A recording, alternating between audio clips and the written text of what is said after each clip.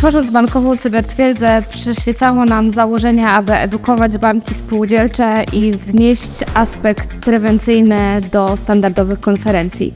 Wiele raportów z zakresu e, cyberbezpieczeństwa wskazuje, że głównym powodem cyberataków jest czynnik ludzki. Także w obecnych czasach nie należy zastanawiać się nad tym, czy będziemy zaatakowani, czy będziemy celem ataku, ale przygotować się na to, że kiedyś to nastąpi. Nasza konferencja składała się z dwóch części, z części merytorycznej, podczas której eksperci z dziedziny cyberbezpieczeństwa przedstawiali konkretne rozwiązania, jak zapobiec cyberatakom w bankowości spółdzielczej.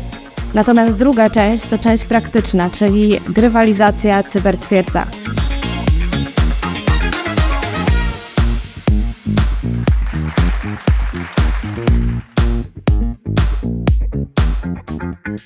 Biuro Informacji Kredytowej mocno rozwija i dostarcza systemy antyfraudowe dla całego sektora finansowego w Polsce.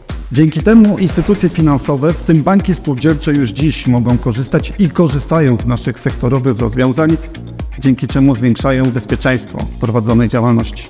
Cieszę się bardzo, że Nowum zdecydowało się na migrację na systemy NUX, które działają w oparciu o nasz główny produkt OpenEdge w wersji 12. I w tejże wersji również mamy do zaoferowania Państwu pakiet zaawansowanego bezpieczeństwa, tak aby chronić Państwa banki spółdzielcze przed niebezpieczeństwami czyhającymi w cyberprzestrzeni.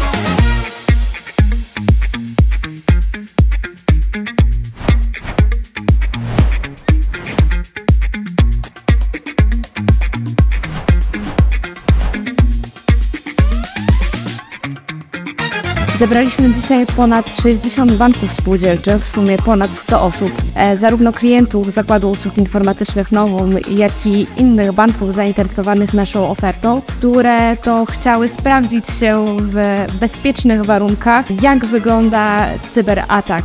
Dużo mówimy o bezpieczeństwie i e, zagrożeniach, jakie na nas czyhają, ale nie wiemy, jak zachowamy się podczas faktycznego cyberataku, kiedy dojdzie stres, ograniczony budżet, a czas będzie nas naglił.